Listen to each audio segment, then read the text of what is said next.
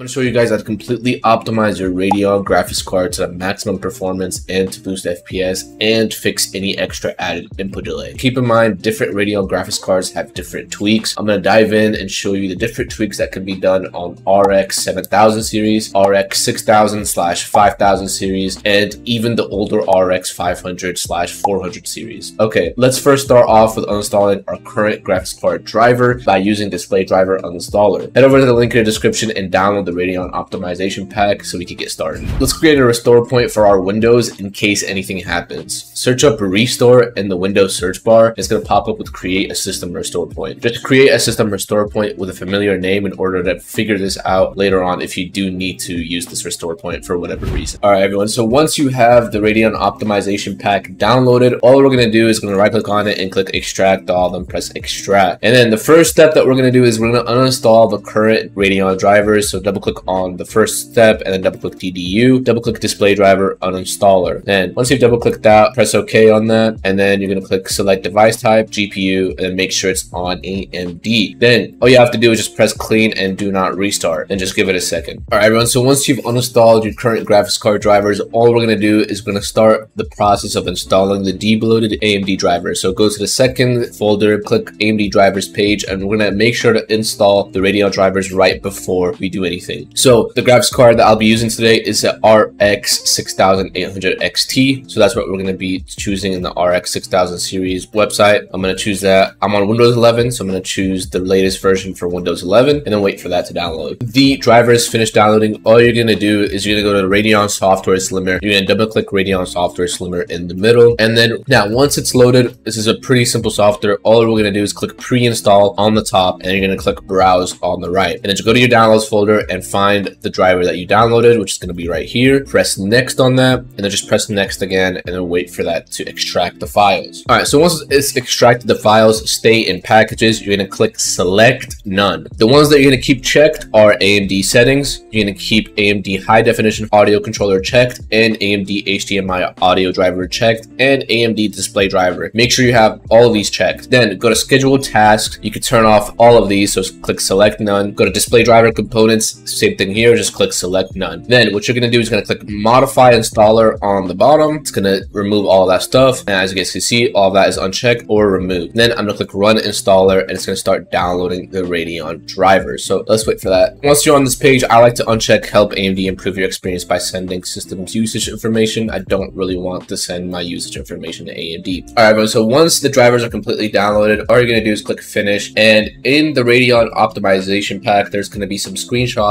on the Radeon settings. So what we're going to do is go to the third option, Radeon settings optimization, and then go to AMD folder. These are going to be some screenshots that you can follow in order to optimize your AMD settings. But what we're going to do is we're going to go to the AMD control panel, as you guys can see. We're going to go to gaming, and then we're going to go to graphics. Then make sure all of this is turned off, and then tessellation mode, make sure that's on override, and then maximum tessellation level set to off. And then surface filtering quality, set that to performance, and then surface format optimization, turn that on, and everything else looks fine right here. What you're going to do is you're going to go to performance at the top, tuning, and then click custom. Press I accept. Now, power tuning, I would turn this on and just max that out all the way to the top. And then fan tuning, turn that on and make sure to disable 0 RPM. And then set the maximum fan speed percentage to 100%. Then VRAM tuning, really important. I would set memory timing to fast timing if you have this option. However, some of you might not have this option, which is completely fine. Then click apply changes. Then you're to click the settings icon on the top right. You're to make sure that check for updates is turned off and then you're gonna go to display. Then what you're gonna do is you're gonna make sure FreeSync is turned off. However, if you wanna use FreeSync, that's completely fine and up to you.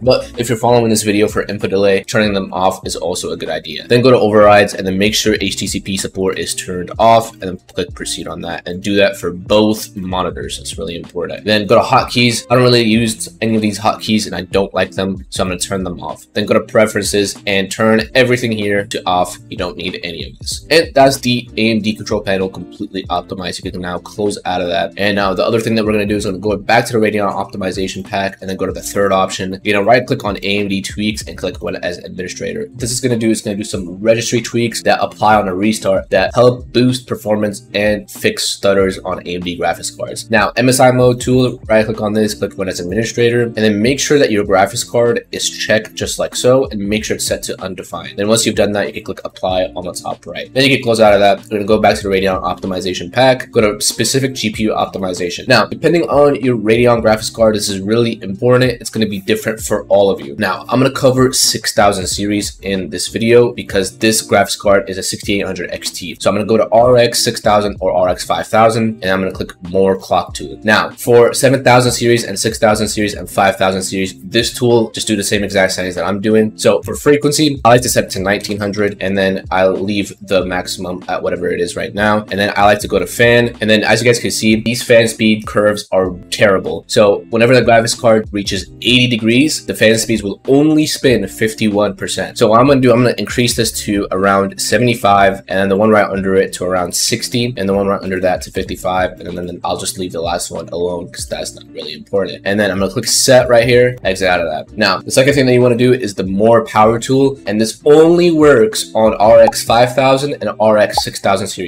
If you have anything that's newer or older, it's not going to work. So I'm going to install this real quickly, as you guys can see, wait for that to do its. I'm to click launch on that. Then what you're going to do is you're going to select your AMD Radeon RX 6800 XT. So what you're going to do is you're to go back to the specific GPU optimizations folder. You're to double click GPU Z, and this is a really important step. Just click no, I'd like to use the classic standalone mode. Under BIOS version on the right, I'm going to click this save BIOS file. I'm to click save to file, and then I'm just going to save this on the desktop. So just so it's easy to find. Then click close, and then you can close out of that. Now in more power tool, you're to click load, and then you're going to choose this file on the desktop, just like so. Then you're to click feature control. Now for RX 6000 series, you're going to copy what I do right here. For RX 5000 series, you're to copy what the image that I'm going to show after doing this is going to look like. So for RX 6000 series, do the following. So we're going to uncheck these DS underscore checkboxes just like so. Uncheck GFX underscore ULV, uncheck FW underscore D state, and uncheck GFX off, and uncheck DAC0 And make sure to uncheck DF underscore C state. And that's it for 6000 series. Now, write here, I'm going to put a screenshot of the 5000 series settings. They look a little bit different, but they're kind of the same thing. So as you guys can see, this is the 5000 series feature. Then press OK on that. I'm going to go to fan on the right and make sure to uncheck zero RPM enable. Now, once you're done with that, just click right SPPT. It's going to say successfully added. Just press OK on that, and then you can click exit. And that's pretty much that for that tool. Now, if you're on an RX 500 or older series, so if you have an RX 590, RX 570, RX 550, or RX 480, you're to use this tool right called Overdrive N tool. And what you're to do is you're to pretty much uncheck zero RPM just like so. And then you're to set timing level to level two if you have that as an option. And then you're to pretty much double click on P0, P1, and just have it so P2 is the only one that's not double clicked. Then what you're to do is these fan curves just like so. If they're too low, just set them higher. So at 80 degrees,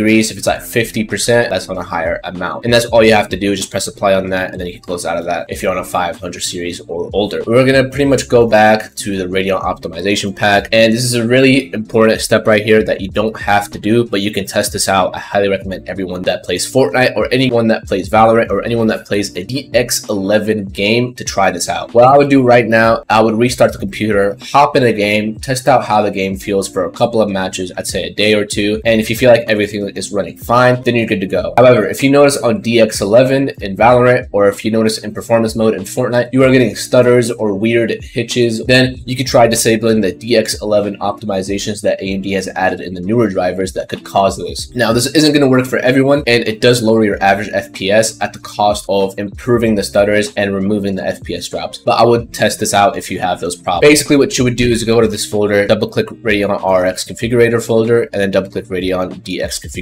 And then you can just press, do would you like to create a backup file? I would just press yes on that. And then what you would do is you would, you would just click set regular DX11, just like so. And then you would restart your computer, and that's all you have to do. Now, to revert it, you would just click set DX Navi, just like that, and then you would just restart it. This is very, very optional. You don't really have to do this if your game's running fine, but if you do get stutters occasionally or hitches in DX11 titles, then you can try disabling the optimizations that AMD has added in order to fix those or attempt to fix those. But other than that, you can just restart your computer, hop in a game, enjoy the smooth, buttery gameplay that you've just got because of optimizing your graphics card. And that's going to be pretty much it for this Radeon optimization guide. Hope you guys enjoyed and hope you guys increased your FPS and lowered your input delay drastically. Comment down below if this video helped you and comment down below what you want to see next in order to boost your FPS and lower your input delay. Right before I let you guys go, if you guys are interested in a PC optimization service and you guys just are tired of watching videos like this and you just you just want an expert to completely optimize your computer computer from the BIOS settings to overclocking to your in-game settings and your Windows settings. Go to the first link in the description, xilly.net, and book a PC optimization service in order to boost your FPS and lower your input delay in any game that you play. I'll see you guys in the next one. Peace out.